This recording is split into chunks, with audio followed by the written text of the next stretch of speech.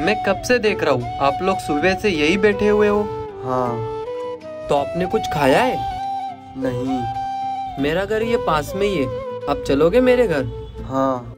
पर एक बार आप अपने घर पे पूछ लो। ठीक है। हेलो माँ? कुछ लोग यहाँ बिना खाए बैठे हुए हैं। क्या इन्हें मैं अपने घर ले आऊँ? हाँ बेटा ले आओ। ठीक है माँ। चलो।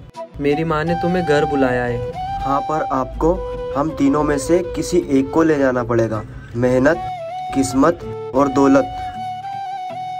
मैं एक बार माँ को पूछ लेता हूँ।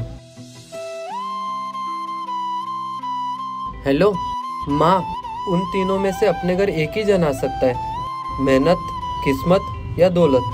बेटा तू मेहनत को लिया। किस्मत और दौलत अपने आप उसके साथ आ जाएगी। ठीक है माँ।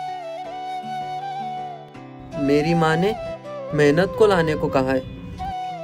अपने माँ बाप सही कहते हैं कि बेटा, मेहनत करो, किस्मत और दौलत अपने आप आ जाएगी। वीडियो अच्छा लगा हो तो स्टार ज़रूर देना।